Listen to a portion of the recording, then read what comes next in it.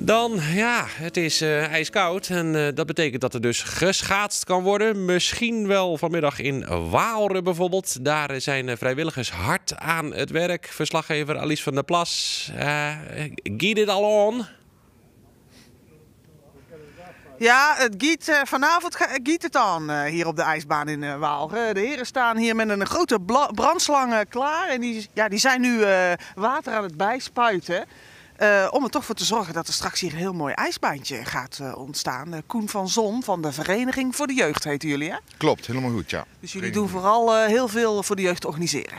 Nou, onze naam zou inderdaad impliceren dat we alles voor de jeugd organiseren. Maar wij organiseren allerlei activiteiten eigenlijk voor ja, heel Waalre dorp, voor jong en oud. Maar ja, de, de nadruk ligt op de jeugd. Ja. precies. Ja. En hoe is het nu gesteld met ijs? Nou, het gaat goed. Eh, vannacht hebben we eh, flink eh, meters, ja, millimeters, centimeters kunnen maken. De nachten daarvoor was het eigenlijk nog spannend of het voldoende aan zou vriezen. Ehm, maar vannacht is het eigenlijk echt goed gaan vriezen. Ging de temperatuur echt naar min 8, min 9. Ja, en dat was wel heel belangrijk, want de nachten daarvoor was het eigenlijk niet koud genoeg om heel veel ijs erop te zetten. Dus het was spannend. Maar we kunnen nu eigenlijk wel zeggen dat we hier vanavond eh, kunnen gaan schaatsen. Oké, ja, we hebben net even op de thermometer gekeken die hier achter op mijn boom hangt. Min 9 graden is het hier nu. Ik zou, kunnen we er even op? Zullen we even testen? Of Ja, zak ik er dan doorheen? Pas op voor het wak. Maar, het wak. Ja, hoor. Even kijken hoor. Oeh, ja, het is lekker glad. Ja, ja, ja goed glad ijs. Dit zijn de, de, de, de Jeu de Boel banen hier. En die mogen wij van de Jeu de Boel Club eh, Jean Boel mogen wij die eh, gebruiken en ook eh, onder water zetten.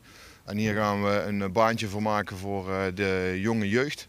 En we gaan hier ook een, een variant op curling spelen en wij doen dat met kaasling. Dus wij curlen met kazen. Echte kaas. Echte kazen. Oké.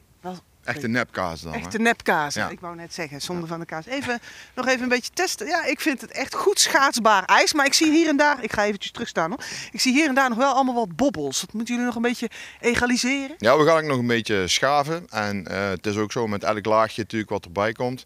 eh, gaan er eigenlijk minder eh, ribbels en oneffenheden komen erop. Want het wordt natuurlijk steeds gladder en egaler. Maar we schaven het ook nog, ook nog een stukje bij, dat klopt. En elke avond als we geschaatst hebben, dan eh, vegen we de baan. En dan wordt die eh, keurig eh, ge, ja, geëgaliseerd weer. Zodat hij voor de volgende avond weer door kan. En we blijven, zolang als het vriest, blijven we s'nachts ook extra lagen erbij zetten. Dus we hopen dat we tot en met zaterdag eh, plezier kunnen hebben van de schaatsbaan. Jullie zijn hier eigenlijk fulltime mee bezig. We zijn hier fulltime mee bezig, ja inderdaad. Vanaf eh 9 uur s'avonds hebben we onze vereniging, die bestaat uit een, eh, nou laten we even voor het gemak zeggen, veertigtal leden. Ehm, hebben we een ploegen opgedeeld en ja, om de vier uur komt er een, eh, nieuwe ploeg om ja, water op de baan te zetten. En overdag hebben we ook mensen die eh, toezicht houden en zorgen dat het allemaal eh, goed gaat verlopen. Dus eh, ja, een heel schema aan elkaar gedraaid. Oké, nou, Koen, dankjewel. Eh, En ja, ik denk ook bedankt namens de jeugd van Waalre, want dat is toch allemaal vrijwilligerswerk. En het is best wel veel werk om zo'n ijsbaantje dan even bij te houden. Heel mooi sfeervol ijsbaantje moet ik zeggen, onder de kerktoren van, eh van, van Waalre.